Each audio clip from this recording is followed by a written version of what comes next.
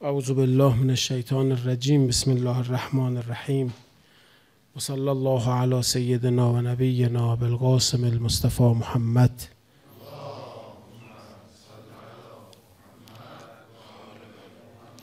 و علی اهل بیت طیبین الطاهرین خدا قلوب همه ما رو نورانی کنه به نور محبت و ولایت اهل بیت. انشاءالله که تو این جلسات هرچه به خوبان و اولیاش نصیب می‌کنه از نعمات معنوی به همه ما هم عنایت بفرمان. این چند شب عرضمون اینه که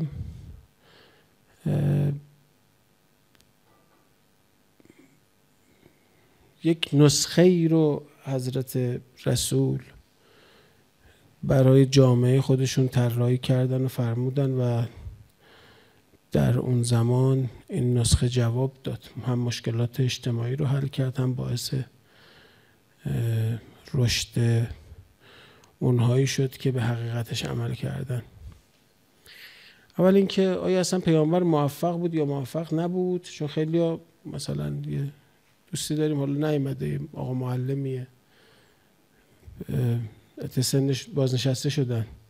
چند بار تا حالا این مطلب رو اینجا گفتن هر دفعه من جواب دادم بازم میگن که آقا پیامبر موفق نشده.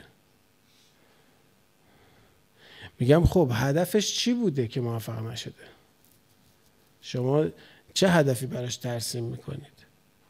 شما فکر می‌کنید اومده بود یه حکومتی درست بکنه و بعد خلاصه تو این حکومت هم یه امکاناتی مثلا فراهم بشه و برای مردم و هم, هم به خاطر قانون و با تعذیر و خلاصه از سر ترس و یا طمع به یک سری آدابی عمل بکنن حداقل در ظاهر. مثلا پیامبر دنبال این بود؟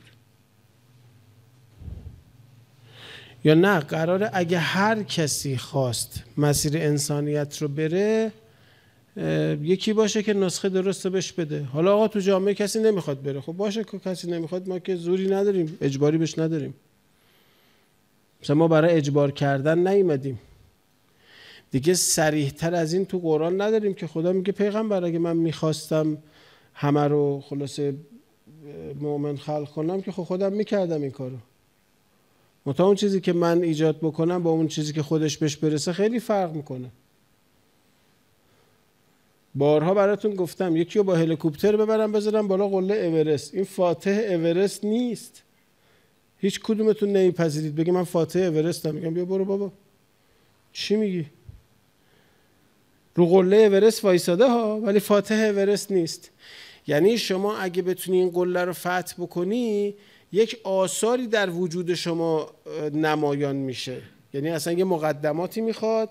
خود این مسیر با اینکه رفتنش مقدمه می‌خواد ولی خودش هم پرورش دهنده است. شما به یه استعدادی می‌رسه بدنت. اینکه بتونه تو اون اکسیژن رقیق تنفس بکنه سرگیجه نگیره تعادلش حفظ بکنه. بعد تمام اندام های داخلی منظم با هم تو اون سرما و تو اون فشار بتونن کار بکنن. یعنی بدن شما نشون میده خیلی استاندارد داره کار می‌کنه. اونی که با پای خودش میره فاتحه ورس میشه. اما نه من با هلیکوپتر بردن گذاشتم اونجا. اولا که سرگیجه می‌گیرم سردرد می‌گیرم حالا تعو میشم. ممکنه بیهوش بشم اصلا. به خاطر رقیق بودن اکسیژن تو اون منطقه. اصلا ما چیز اکسیژن نیاز داره. حتی ماسک اکسیژن می‌خواد و کپسول می‌خواد و از این حرفا. بعد ممکنه سرگیجه بگیرم. مثلا من ارتفاع رو نمی‌تونه بدنم ارتفاع رو تنظیم بکنه در خودش. هزار تا آسیب داره هیچی. یا جنازه رو اونجا پیاده می‌کنن. چهار تا عکس یادگاری بگیره سوارش برگرده. این اصلا بهش نمیشه بگی فاتح. هیچ چیزی از آثار فتح اورست تو بدنش نیست. حتی تو روحیش نیست. اینکه شما بتونی بجنگی. بتونی بجنگی. دوستی رفته بود این دو ماراتون. می‌گفت تا یه جاییش که خب بدن همراهی می‌کنه و میری و اینا. یه جایی به بعد ذهنت شروع می‌کنه با جنگیدن. همش بهت میگه وایسا.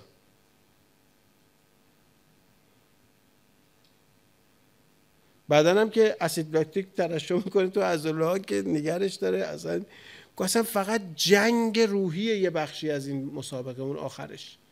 و اگه کسی بتونه غلبه بکنه به اون اون برنده است دیگه. می‌دید که اونجا همه برنده میشن هر کی به خط پایان می‌رسه برنده میشه. چون تونسته اون جنگ و اون چند کیلومتر آخر رو تونسته بر خودش غلبه کنه. چون همش از درون بهش میگن وایسا وایسا وایسا. یه قدرت روحی عجیبی می‌خواد فتح اورست. و اونی که فاتح میشه به اون به اون به اون بلوغه می‌رسه. میگه ما این بلوغه رو می‌خوایم پیغمبر. اولا خودش باید بیاد با پای خودش باید بیاد. هیچ ابزار کمکی نباید داشته باشه. هر ابزار کمکی تو این مسیر کار خراب می‌کنه. مثل اینکه یه مرکبی درست بکنم بتونه اکوه بره بالا بشینه روی این بره بالا. میگه نش نه با پای خودش. هیچی. با پای خودش باید بیاد. با تصمیم خودش باید بیاد. آگاه هم باید باشه. باید مسیر رو بدونه چه خبره. آمادگیشو داشته باشه حرکت بکنه. اصلا اینکه از بیرون بخواد چیزی بهش اضافه بشه کمکی کنارش قرار بگیر میگه اینا همه مخل. چرا؟ چون اون استعداد در تو ایجاد نمی‌کنه. برای همین دین میگه آقا جون نه جهنم به ترس نه به بهش امید داشته باش. اصلا اینا رو بذار کنار. ترس و تمام بذار کنار.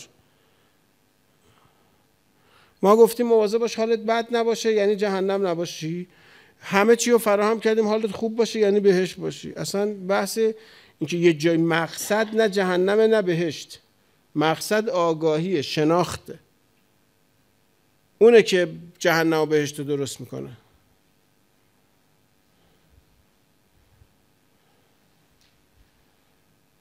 خب در زمان پیامبر این داستان جواب داده. چه جوابی داده؟ هیچی. میگه پیامبر می‌خواست بگه اگه کسی می‌خواد این مسیری رو بره منم حاضرم. من یه حرفایی دارم براش. منم یه مسیری رو رفتم یه حرفایی دارم براش. می‌خواد از این حرفای من استفاده کنه. اولا ما نمی‌خوایم همه بیان. دوست داریم همه بیان اما این نیست که مثلا اگه هیچکین مثلا هم یه نفر بیاد آقا ما شکست خوردیم. میگه نه اتفاقا ما هدفمون این بود که هر کی بخواد بیاد بتونه بیاد. این هدف ماست. ما به هدفمون رسیدیم یا نه؟ میگه ما رسیدیم. هر کی بخواد مسیر انسانیت رو بره ما حاضریم کمکش کنیم. می‌خوایم اونی که می‌خواد مسیر انسانیت رو بره دست خالی نمونه. این هدف ما اینه. میگن آقا مردم زمان پیامبر بعدش نشون دادن که خیلی هم چیز نشده بودن. خب اون که نمی‌خواد بیاد که ما باش کاری نداشتیم.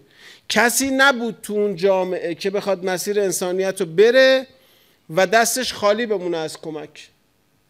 هدف پیامبر خیلی معلومه چیه؟ خیلی هم روشن خیلی هم درسته. میگه آقا مخاطب من هر کسیه که می‌خواد به سمت انسانیت حرکت بکنه.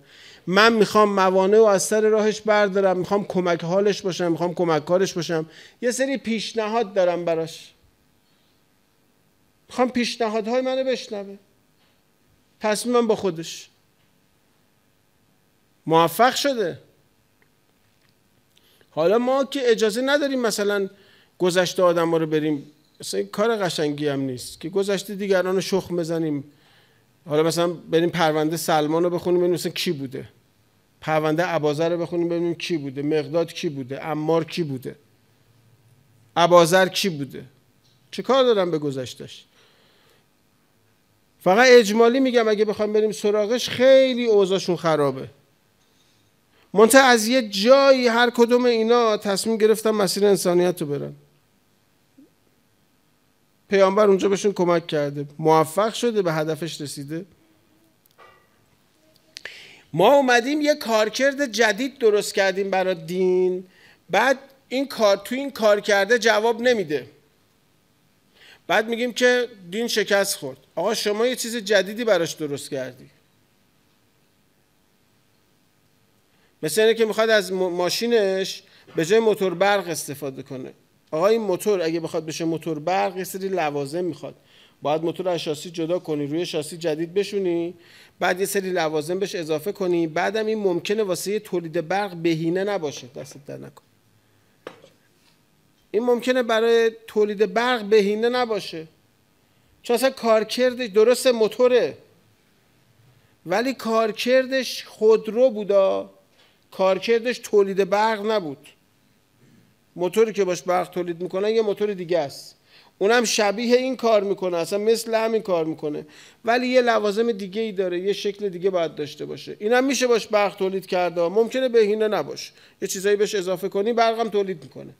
بعد میگه آقا این فایده نداره میگه آقا اصلا مگه من تولید کردم برق تولید کنه؟ مرد حسابی. ماشین تولید کردم بنز بی ام و چه می‌دونم فراری لامبورگینی. بعد تو ماشین موتورش رو ورشته بخوای بهش برق تولید کنی؟ این مال برق نبود. این تو جای خودش برو سوار شو ببین چه کیفی می‌کنی ببین چه لذتی می‌بری. ببین چقدر همه چیش رو حساب همه چیش درسته. تو راه خودش تو جای خودش. تو اومدی کارکرد جدید براش تعریف کنی اولا کندیش اتاق کلا شده بی, بی... بی... فایده شما از روی دونه لنکروز موتورشو بردار. اتاقش که دیگه هیچ. بعد این موتوره رو بردی روی شاسی دیگه نشوندی. حالا کلی چیز بهش اضافه کردی که ازش برق بگیری. حالا خوبم مثلا اون برقی که تو اون مثلا چی میگم بهره که تو می‌خواستی و نداره. بعد میگی که آقا این چرا برق نمیشه باشه میگه می‌دونم مثلا رئیس شرکت لنکروز چه می‌دونم لکسوس حالا یکی فکر کنم حالا یه شرکت. مثلا به شما میگه که چی میگی؟ مثلا رئیس شرکت تویوتا میشه دیگه. ها مسئولیت تویوتاست. میگه چی میگی از من؟ اول برای چی موتور رو برشی وا کردی؟ این اتاق بی تاثیر کردی بی اثر کردی؟ می‌دونی این رو همه چیش فکر شده. این مال جاده است. این مال بیابونه. تو جای خودش بهترین کارکرد داره. تو خر تو کارکرد جدید براش تعریف کردی. مثل یکی که بخواد تو اتاق ماشینش زندگی کنه.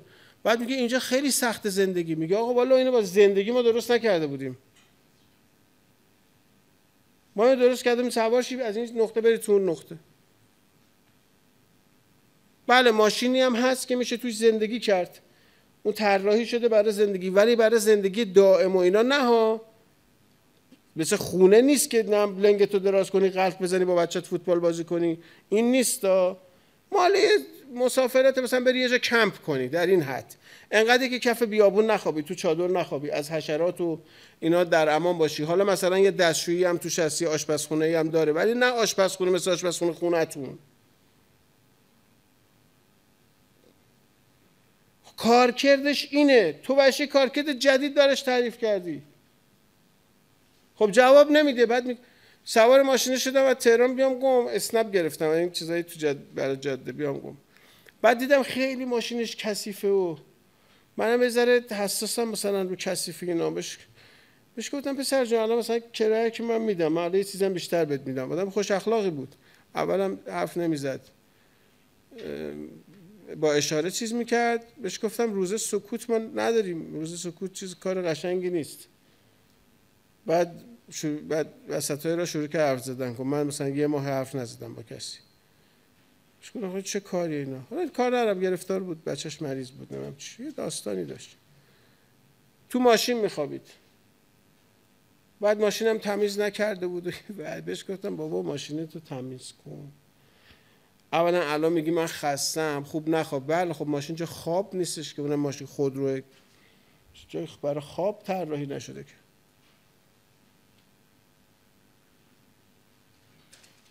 شما نمی‌تونی بگی سازنده این خود رو عجب آدم بیشوری بوده. چه آدم نفهمی بوده. آقا اصلا جواب نمیده کارش. میگه می‌دونم من رخت خواب برات درست نکردم و من خود رو درست کردم. بشینی روی خود رو سوار شی. یه فاصله رو بری و یه آسایشی داشته باشی تو این سفر. البته این راجع ماشین های خارجی صحبت کنم ایران خود سایپا که کلا من نمیفهم هدفشون از خودروسازی چیه. اونا ان خودشون بیان توضیح بدن. اونا چیز هم زیاد دارن. قدرت هم تو ایران زیاد دارن. خودشون دولت دارن برای خودشون. هر کاری عشقشون بکشه می‌کنن. من هدف اونا رو واقعا از خودروسازی نمی‌دونم که این چی می‌سازن. اونا خودشون فکر کنم می‌خوان جمعیت رو کم کنن نمی‌دونم. احتمالا با استکبار جهانی در ارتباط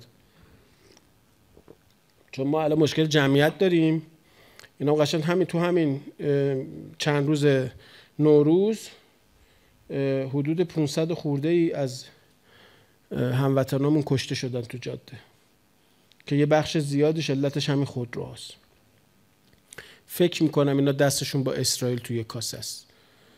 چون اسرائیل هم توی این مدت 500 نفر نکشته احتمالا یا حداقل خلق و خوشون شبیه همون اسرائیل و ایناست. منتها اینا ازشون تقدیر میشه اینا. دو تا شرکت ورشکستن که چند هزار میلیارد ضرر انباشته داره هر کدومشون. مثل استقلال پرسپولیس کلا یه چیزی بهتون بگم. شما بیابون و بیابون. مثلا همین کویر مرنجا. ادارهش رو بده دست دولت. به دولت بگو آقا اداره بیابون برای اینکه بیابون باشه دست شما. شیش ماه نشده شن کم میارن. سیستم دولتی اینه. همه جای جهان هم هسته. حالا یه جای عقل دارن دولتاشون رو کوچیک می‌کنن. بالا سرشون با قانون وای میسن که دولت از این کارا نه. اینجا نه. دولت نفت ما رو می‌بره نفتی که حق مردمه می‌گیره. هر چی دلش بخواد هر جور دلش بخواد میفروشه. به هر رانتی بخواد میفروشه به هر نهادی بخواد میده. الان فقط حسین گرد شبستری نفت نمیفروشه. به نیروهای نظامی میده به شرکت ها میده. یک دا یک اصلا انگار مال دزدی باشه این کارو نمی‌کنن که این کارو می‌کنن. نفت مال مردمه میفروشه کلش رو ور میداره یه سنتش هم به ما نمیده. این چیزی که به اسم نمیم چی چیه میدن؟ هر ما یار... یارانه که به بعضیا میدن مثلا 50 تومن یه دلار. تازه یه دلار هم کمتر. نفت رو میفروشی بشکه ای چند دلار؟ یه دلارش رو در ماه میدی به هر فرد ایرانی اونم نه به همه به یه عده‌ای. ما که نمی‌گیریم حالا اونا که می‌گیرن یه عده‌ای هم می‌گیرن. چقدره من من که نمی‌گیرم خبر اون وقت که 50 تومن بود. آره 300 5 دلار حالا. 5 دلار دعوا نداره خب نمی‌گیرم. خبر نداشتم. 300 تومن میدن. 5 دلار. 5 دلار. سه که اول بیشتر 400 میدن. مثلا میشه 7 دلار. 6 دلار. نفت بشکه چند دلار میفروشن؟ حالا با هر تخفیفی من می‌خوایم چقدر نیف الان چند نفت من اینشم برای نفت فروشی نداریم نه خودمون نه بابامون نه.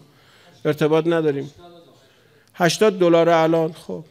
یعنی یه بشکه نفت رو میدم به یه طایفه دیگه.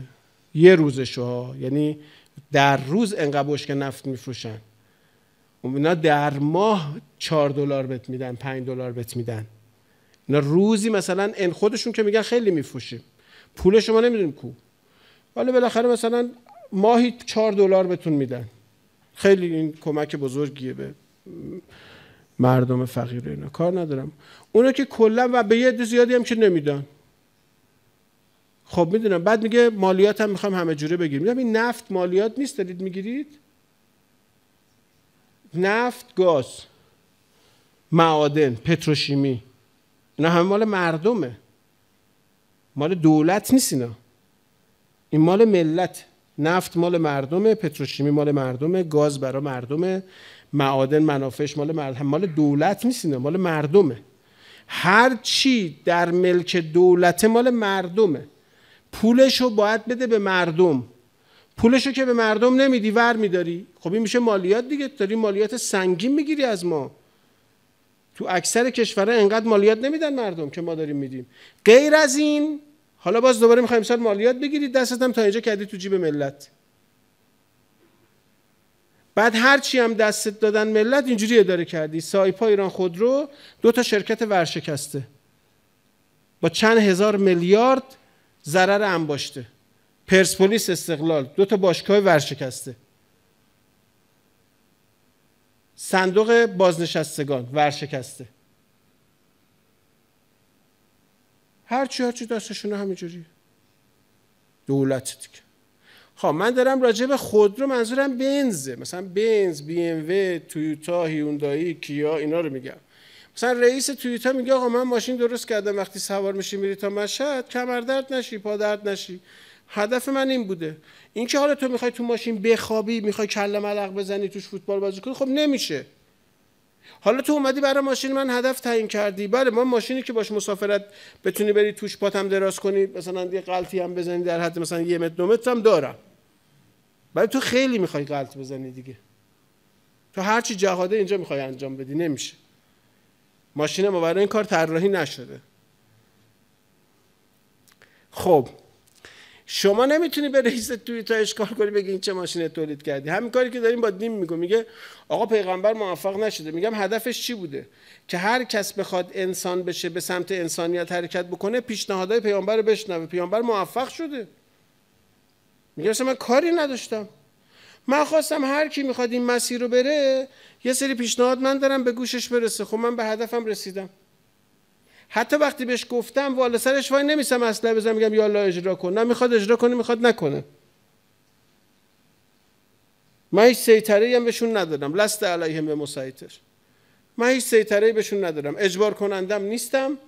اساسش هم گفتم لا اکراه فدین گفتم آقا من یه پیشنهادایی دارم. دوست داشتین؟ بسم الله. من موفق شدم. بیا سلمان درست کردم. ابازر مقداد امار کم مگه آدم درست کردم؟ بیار و بیار. خب دیگه بیار زوری که نیار که. پس چی بگم بگو منو پیر کرد؟ فستقم کما امرت و من تاب معک. چرا پیامبر فرمود این آیه منو پیر کرد؟ چون زوری نیست که. زوری نیست ولی خب بالاخره اووردنم. که خب. دل به خواهش باشه. خب دل بخواهشه دیگه. زنده نشدن دیگه. خب نشن خب. خب نشن. نگفت با زور بیار که. گفت هر کی دوست داره بیاد و تو بیارش. میگه باش. قرآن که یه آیه نیستش که. میگه هر کی دوست داره بیاره بیاد و تو بیارش. میگه خب باشه من من کارمو می‌کنم چشم. منتها هرس می‌زنم که تعداد بیشتری بیان. چون دوستشون دارم. این اسمش زیاده کاری نیست زیاده پیامبر زیاده روی نمی‌کنه. اینکه قرآن میگه که ما قرآن رو بر تو نازل نکردیم که خودتو به مشقت بندازی؟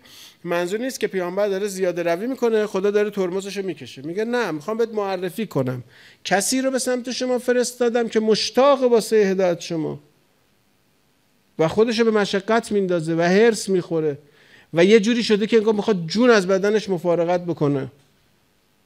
و انقدر شما رو دوست داره که خار به پای شما میره آه از نهاد او بلند میشه. حالش اینه. خب. اینا معرفیه اینا چیز نیست.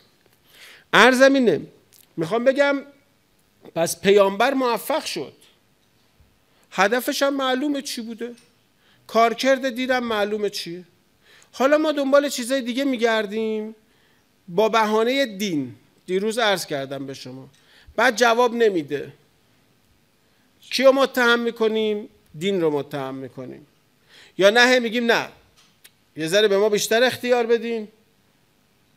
یه ذره ما بیشتر چیز داشته باشیم فرصت داشته باشیم. یه ذره ما بیشتر چیکار بکنیم؟ مثلا که شما می‌خوای یه پیچی رو باز بکنی این با پیشگوشتی باز میشه. اصلا پیشگوشتی نداره. یه تیکه چوب دستشه. حالا میگه اینو باز کن. میگه آقا اصلا این چوبه اینو نمی‌تونه باز کنه. نه بیشتر به من فرصت بدید. نمیشه. حالا می‌خوای امتحان دو سال وایسه باش. این مال کار دیگه این هیزم بذار جا آتیشش بزن گرمت می‌کنه. باش غذا بپس چیکار کن چیکار کن. کارکردشونی نیستش که تو تو ذهنت. خب. ارزم چیه؟ میگم ببین پیامبر برای اونایی که می‌خواستن مسیر انسانیت رو برن یه نسخه ای داد اون زمان که آقا اینا یه نسخه ای دارم من. غذامون رو جمع کنیم به جای که خودمون بخوریم بدیم به یه فقیر. آقا خودمون ممکنه گرسنه بمونیم. میگه همین دیگه. همین دیگه. می‌خوام می‌خوام این در شما ایجاد شه. این رحم بهش میگن رحم. اینکه دیگری رو بر خود ترجیح بدی. تازه اخلاقم میشه. اینکه دیگران رو از خود بهتر بدونی.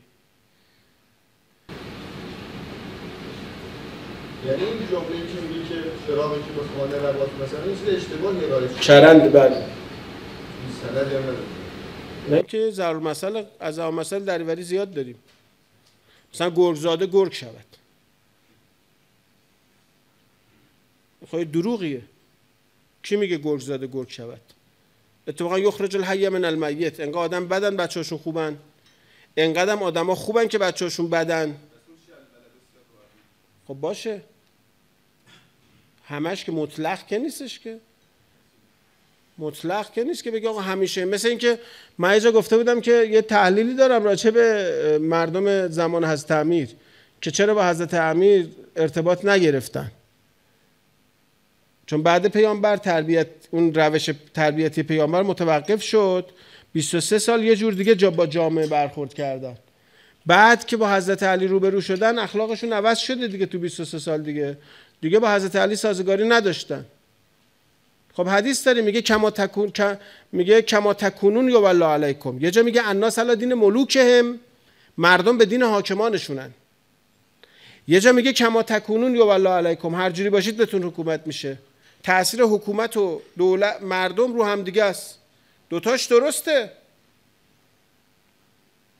بعد دیدم یکی آقا ببین الان میگه مردم نیومدن رای بدن تقصیر دولته. زمان حضرت علی میگه مردم با علی همکاری نکردن تقصیر مردمه. اولا کی گفته شما حضرت علید شما سه تا سور زدید به عمر سعد. شما رو چه ربطی داره به حضرت علی؟ خودتون رو با کی مقایسه می‌کنید؟ کی به شما گفته خودتون رو با اهل بیت مقایسه کنید؟ چی میگید؟ حالا خوبه یه بار جلو بزرگ مملکت از این شعارا دادن زد تو برجکشون تو اسمان گفت چی میگید؟ این اسما رو تشابه اسمی می‌ذارید بغل هم شلوغش می‌کنید. چی دارید میگید؟ منتها اینا کاسه از داش آخ... کاسه از آش داخترن. اینا نه میگن نه خیلی همینه که ما, وظیفه خودمون عمل می‌کنیم. خب غلط می‌کنید. بی خود می‌کنید کسی رو با اهل بیت مقایسه می‌کنید. اول دوم آقا دو تا حدیثه. داره میگه یه وقت اخلاق جامعه است یه وقت اخلاق حکومت دوتاش رو هم تاثیر داره. ما اینجا هم به دولت هر وقت اشتباه بوده گفتیم هم به ملت. چون من نه دستم تو جیب ملت نه دولت. نه شما چیزی می‌خوام نه دولت. من دستم تو جیب خودمه. خیلی هم حالم خوبه. زمان شاه حاج آقا آخونده خیلی طرفدار مردم بودن. خب دستشون تو جیب مردم بود. شما ادارهشون می‌کردید. خمس و زکات شما می‌دادید. الان ولی طرفدار دولتن چون حقوقشون رو دولت میده. ولی همون زمان شاه آخوند مستقل اشکال مردم رو می‌گفت. میگه آقا اینجا دولت درست میگه شما اشتباه می‌کنید. همین الان هم آخوند مستقل اشکال ملت رو میگه اشکال دولت هم میگه. تموم شد رفت. منتها نه اون موقع حرف آخوند مستقل رو قبول کردید نه الان. جلو خونه آستحمد خونساری. آستحمد خونساری. جلو خونش را پیمایی می‌کردن. می‌گفتن زنا به ما پیوستن. اشاره میکن به خونه آستحمد می‌گفتن بی غیرت ها نشستن. های ملت شریف. چی داغ بودید؟ خوب آدم های مستقل و حرفشون رو گوش نمی‌دادید. الان هم گوش نمی کنید چه فرقی می‌کنه؟ گوش نمی کنیم آقا. تازه من حدیث برات میارم امام زمانم بیاد ما به حرفش گوش نمیدیم. این که خیلی روشنه. منتها این که میگه آقا چه تناقض آقا حضرت امیر چه نسبتی با ما داره؟ اول. یک. دو. کما تکونون یا والله علیکم خود حضرت علی رو منبر فرمود. روایت مال حضرت امیره. که آقا این اخلاق شما بالاخره تو قرآن هم میگه که هر جوری باشید بالاخره سرنوشتتون رو خودتون می‌نویسید. به سرنوشتی دچار میشید که حال خودتونه. از اون ورم آیا حکومت بر مردم تاثیر نداره؟ همین حضرت امیر میگه میگه مردم به حاکمانشون شبیه ترند به پدر مادرشون. منتها نمی‌تونی جمع کنیش میگی تناقض. خب آقا یه جمع کردن بلد باشی خیلی مطلب روشنه. که تاثیر و تاثیر متقابله. منتها یه جزور دولت بیشتر تاثیر بیشتری می‌ذاره. مثل الان که همه چی دست شماست. اومده به من میگه توی این اینستاگرام چرا مخالفات راه نمیدی؟ گفتم والا این که تو جیب همتون هست. همتون صفحه اینستاگرام دارید. پول اینترنت هم که ما میدیم. این که از این. یه چیز شخصی شما هم دارید. شما تو صدا سیمایی که از پول ما ملت داره اداره میشه یه نفر مخالف خودتون رو راه می‌دید؟ صدا سیمایی که مال مردم مال شما نیست. راه نمی‌دید. ما شما یه دونه از این آقایون رو بیارید 14 سال هیئت هفتگی داشته باشه پرسش و پاسخ. وقتی هم که live اومده ما live داریم می‌ذاریم. چی میگید بر خودتون؟ دنبال چی میگردی؟ بعدم داداش انرژی تو گذاشتی مثلا منو بزنی چی می چی چرا داری ف... وقت تو تلف می‌کنی؟ ول کن بابا پنج چشاتو ببند ده سال دیگه وا کن نه اسم من است نه اسم تو. بیا چهار تا کار خوب انجام بدیم با هم. یک مملکت یه قدم بپریم جلو دنبال چی میگردی پنجاه سال دیگه آدم لطف می‌کنم بهتون غیر این آقازاده ان چه 100 سال کنه. ما هممون سنمون بالاخره شما همه بالای 20 سالین دیگه. من که خودم 43 سالمه. 50 سال دیگه عمرن مثلا همسنای من زنده باشیم یه دونمون. یعنی طبیعیش هم ما 50 سال دیگه عمر نمی‌کنیم. یعنی 50 سال دیگه ما نیستیم. تمام. این همه دعوا علکی این همه تخریب علکی این همه تهمت علکی هیچ همش علکی. وقت همدیگه رو گرفتیم پشیمون میشیم.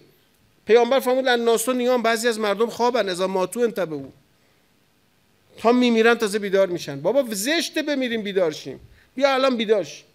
به جای که تخریب کنیم با هم فکر کنیم با هم فکری کنیم بریم جلو. فعلا هم که مملکت دست شماست. تا قیامت میشه دست شما باشه.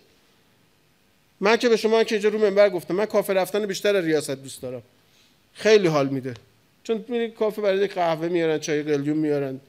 چه می‌دونم میشینیم با هم بازی می‌کنیم میگیم شعر می‌خونیم می‌خوایم حالا دنبال چی میگردی فعلا که قدرت دست شماست نوش جونتون. ایشالله معبد باشه معبودتون نباشه. قدرت معبده. محل عبادت. باش کار خیر کنی. معبود نیست که بپرستیش. معبودت بشی معبودت بشه قدرت تو میشی بردش بدبخت میشی. خودت بدبخت می‌کنی دیگرانو. معبد آقا جو محل عبادت. خدا بهتون فرصت خدمت داده نوکری کنید برید بالا. برید عرش. براقه سوار چی چش به هم بزنید عرش علایی خدمت کنی به مردم. این بحثه بیام بیرون بریم تو بحث خودمون. صحبتم چیه؟ میگم پیامبر دنبال چی بود؟ که اگه خواست کسی مسیر انسانیت رو بره کمکش بکنه. بگه این پیشنهادهای منه این تجربیات منه. من این راه رفتم اینجوریه. یه نسخه داد ماه رمضان. جواب داد بله در زمان خودش اگه کسی خواست مسیر درست رو بره جواب داد. چرا الان جواب نمیده؟ حتی اگه ما بخوایم مسیر انسانیت رو بریم اینو داریم جواب میدیم. این 7 8 15 روزی که اینجا خدمت شما هستیم داریم اینو میگیم. یکی از حرفا اینه که آقا شما وضعیت الان الان یه, یه چیزی به شما میگم. مثلا من بشینم برای بچم تعریف کنم بگم آره من خیلی هوا همسایه‌مون رو داشتم. مثلا من یه شب خونم یه شب رفتم در خونهشون فهمیدم نون نرم. پنج تا نون دادم بهش. مثلا بچه من میگه که چه کمالیه. خب باشه اصلا نون نداشتن خب میره سوپری می‌خره. این نمی‌دونه که اون موقع که من پنج تا به اون نون دادم سوپری کجا بود؟ نون کجا؟ نون بسته کجا بود؟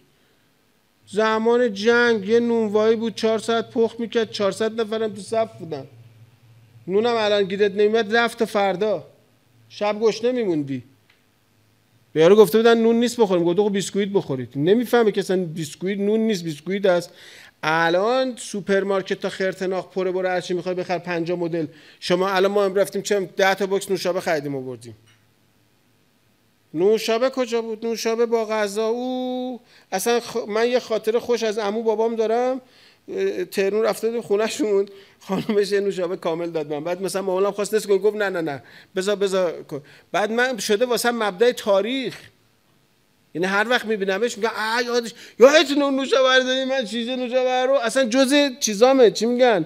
نقاطی که تو ذهنم مونده که یه نوشابه به من داد. من الان به بچه میگم آره فلانی خیلی به ما مبگی. یه نوشابه شیشه ای به من داد. میگه بابام یه چیزی می‌زنه احتمالا. که حاجی هم موتوری جنس نگیر. زدی شرایط اون روزو ندونه اصلا بهش نمیگه ایثار. میگه چه ایثاری؟ پنج تا نون دادی همسایه‌تون همچی تعریف می‌کنه انگار مثلا شق القمر کردی. بله شق القمر بود اون موقع. اون وقت که من یه روز قبل می‌رفتم صف گوشت یخی شب اونجا میخوابیدم تو کوچه آقا گل پایگانی تا فردا زور که آیا گوشت یخی بیاد آیا نیاد. بعد حالا داداشام بیان یه تیکه گوش بگیریم ببریم. اگه بگم نصف گوشتشو دادم به همسایه ترکوندم. الان بگم یه گوسفندم دادم میگه خب داد این قصابی پر گوشت برو بخر. حالا گرونه دیگه ذره. حالا بعضیا می‌تونن بعضی نمی‌تونن. اون موقع اصلا نبود که کسی بخره. سیگار کوپنی بود آقا سیگار کوپنی بود. سیگار کوپنی بود. این زندان الان هست سهمیه یه سیگار توش. مثلا یکی بگه تو زندان یه نخ سیگار بهم داد ترکونده. آ با دم خیلی مرام ولی که ای والله. لایک داره. سیگار کوپنی بود یعنی سیگار آزاد. گرون بود به ندرت گیر می اومد داستان داشت دیگه.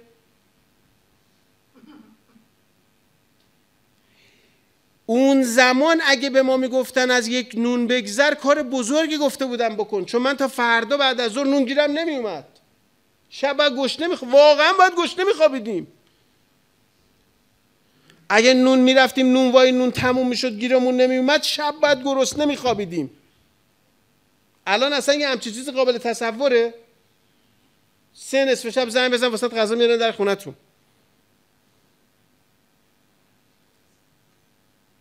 واقعا الان مثلا برای یه قشری از جامعه متوسط به بالاش حالا اون سه دهه که پایین ممکنه یه همچی فضایی داشته باشن متاسفانه الان. ولی متوسط به بالا اصلا بهش بگی نون گیرم نیامد گرسنه خوابیدم مثلا باورش میشه الان. الان میشه یه همچی چیزی؟ تو قوم که هر وقت می‌خواد میرید دم حرم حضرت معصوم سوپریا بازن هرچی هم بخواد. نون داره چه می‌دونم کنسرو داره کمپوت داره هرچی ساندویجیاش بازند بعضی رستوران ها تا صبح بازند تو جاده که میری که تا صبح هست غذا هرچی بخواد برو بخور. این خبرها نبود. من اگه نون شب می‌رفتم نونوایی دیر می‌رفتم نون تموم می‌شد نونوا می‌گفت خمیر تموم شد. یعنی ما اون شب نه نفر تو خونه باید گرسنه میخوابیدیم. تمام.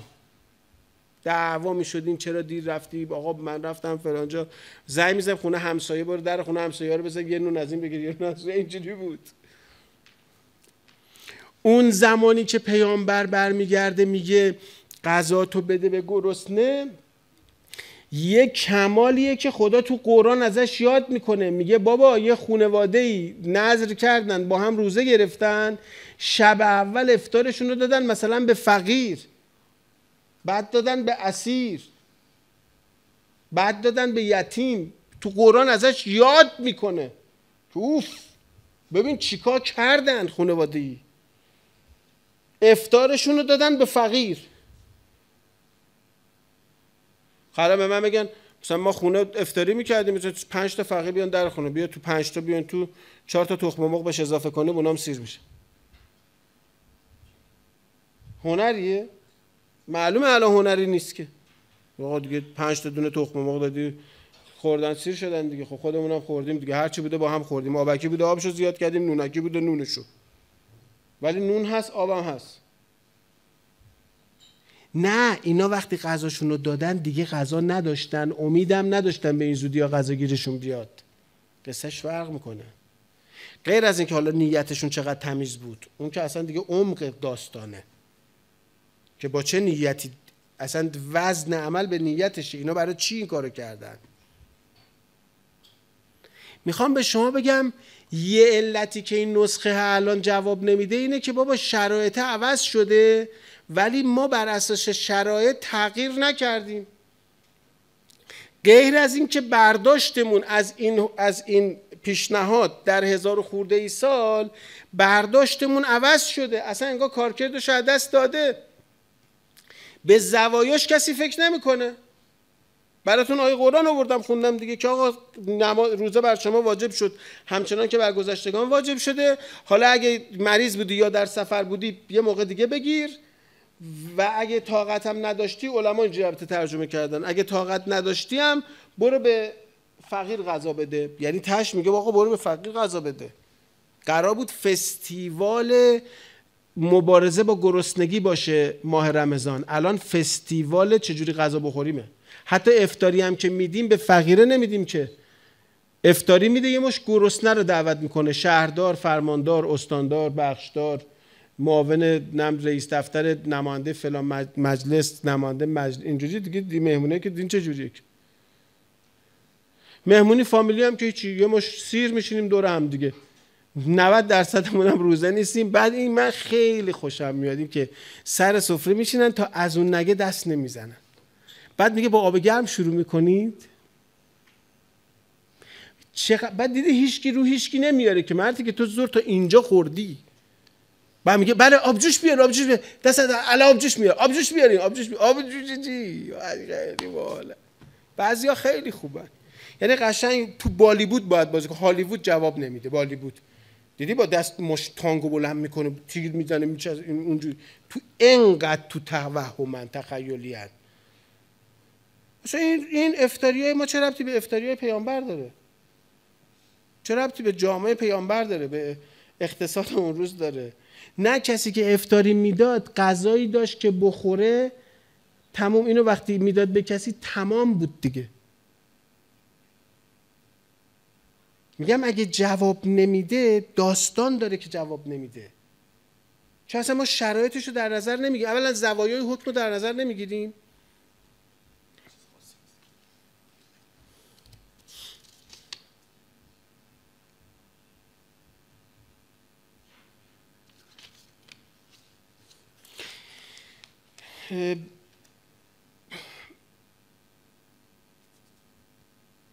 شرایطی که پیامبر تو پیشنهاد گفته رو در نظر نمی‌گیریم؟ کالبد شکافیش هم نمی کنیم تغییراتی هم که تو طول زمان کرده در نظر نمی‌گیریم.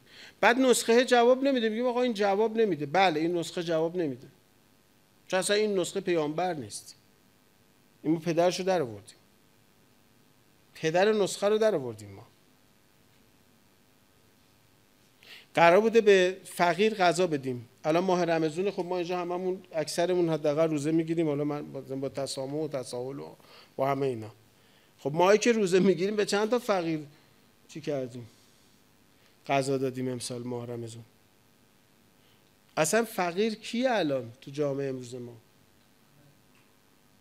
نه همه که نه دیگه. حالا چیزش نکنید دیگه. اگزاجراش نکن. ها؟ حالا بالاخره می‌خوام بگم حالا حالا می‌فهمم می‌دونم. حالا باشه منم یارانه نمی‌دونستم چون نمی‌گیرم. متوجه. خب حالا حالا حالا من اصلا منظورم بابا بذارید آقا اصلا شما کجایید؟ من چی میگم؟ شما کجایید؟ میشه از این حکومت رو می‌کنم. آقا هر می‌خواد یه تریبون بدم هر چی می‌خواد فوش بدید به این مسئولین تموم شه. ما کارمون رو بکنیم. گور باباشون بابا جون اونا همینجوری گن زدن تو مملکت. حالا یه بحث معرفتی می‌خوام بکنیم. اینجام گن بزن اصلا اسمشون میاد شهر. آقا ولش کن دیگه. آقا جون می‌خواد به مسئولین دریوری بگید برید بگید. هر چی می‌خواد برید بگید. من دارم یه حرف دیگه می‌زنم اصلا. خیلی برام عجیبه. ما نمی‌فهمم مثلا یه در درک نمی‌کنم. آقا من نه انقلابی ام نه شورشی ام نه دنبال براندازی ام نه رهبر براندازم نه رهبر معتزلم. به دردتون نمی‌خورم. چون من با ریختن یه قطره خون از هر کسی مخالفم.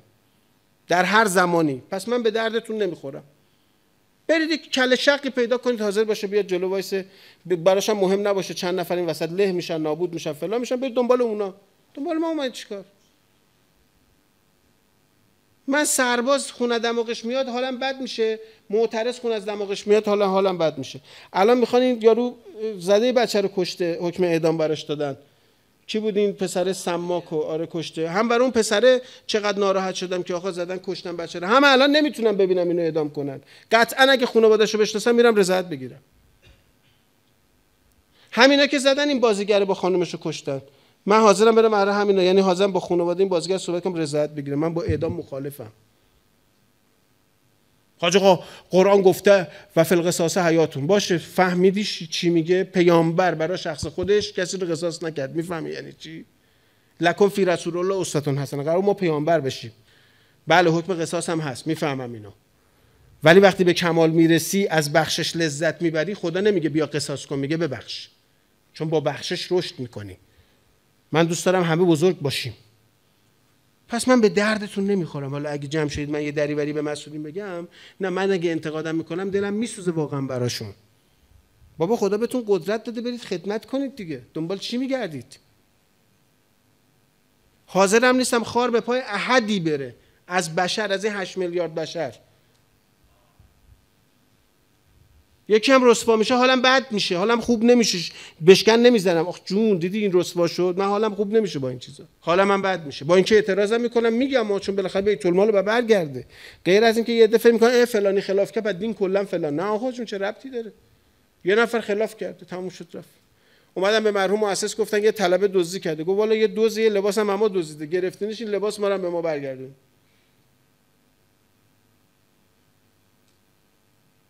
حالا پس این حرفی که می‌زنم حرف منو گوش کن آقا جون. حرف شما رو که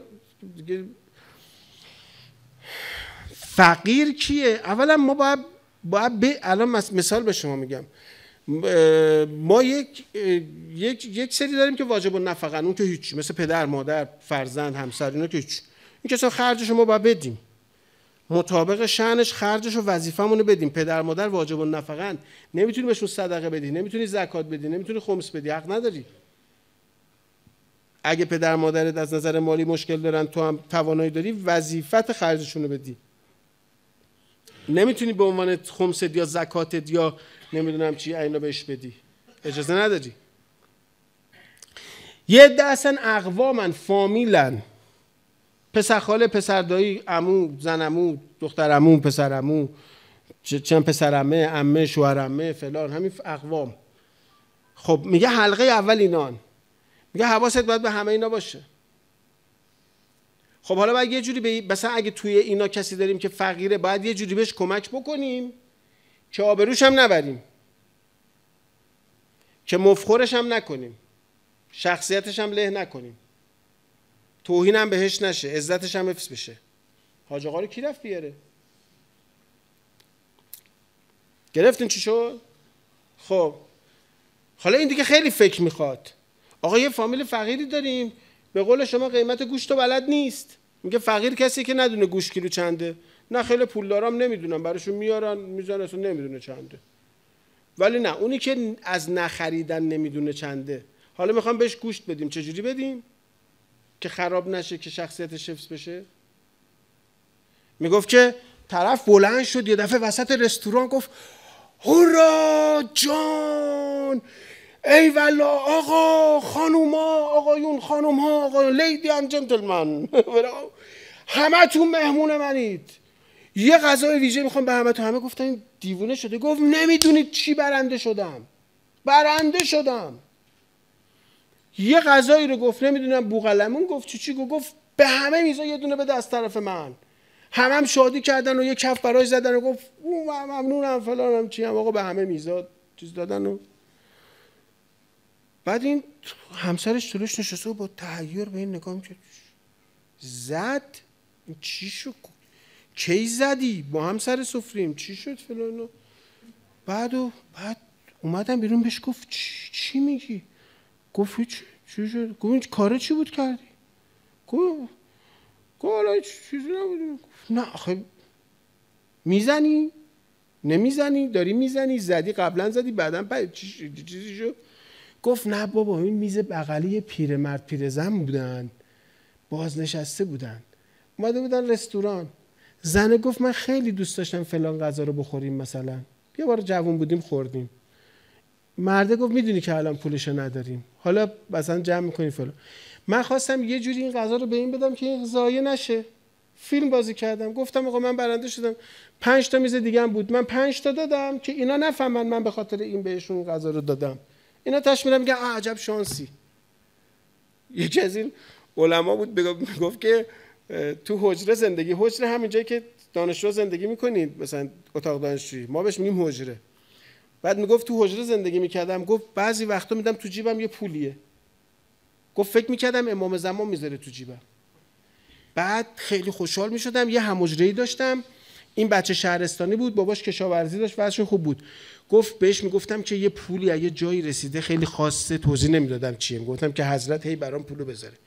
می‌گفتم دوست دارم غذا درست کنم از این غذا حتما بخوری. که میگم می‌خواستم لقمه ای که مثلا امام زمان داده یه چیزیش هم به این بدم که مثلا این بدبخت بیچاره مفلوک فلک زدم مثلا یه رشدی بکنه و گفتم من چقدر معنویتم بالاست که حضرت برای من پول می‌ذاره واسه این نمی‌ذاره. گفت چندین سال بعد فهمیدم این می‌ذاره تو جیبم. گفت من فقیر بودم نون نداشتم بخورم. این باباش کشاورز بود خوب بود. چند ماه یه بار یه پولی برای میفرستاد گفت یه بخشش میذاشت تو جیب من. گفتم حضرت میفرسته خودش میذاشت تو جیب آره من می‌خوام یه جوری به تو یه حالی بدم. تو می‌خوای یه جوری به من حال بدی. شخصیت منم خورد نشه. اولا فقیرای فامیلتون رو می‌شناسی؟ تو که می‌خوای روزه بگیری می‌دونی که فقیر فامیلت کیه؟ که اصلا من ده سال عممو ندیدم. که حالا بدونم فقیر یا نیست. این که یه مطلب. پس اصلا تو آمادگیشو نداری. آمادگی ماه رمضان رو نداشتی. پس اینکه میگم ماه رجب و شعبان یه روزه ای بگیرید مفهومش چیه؟ آماده شید برای ماه رمضان. یه سرچی باید بکنی ببینیم چه خبره. نمی‌دونیم چه خبره که. حالا فقیر شناختیم می‌خوام بهش کمک بکنیم باید با حساب کتاب باشه.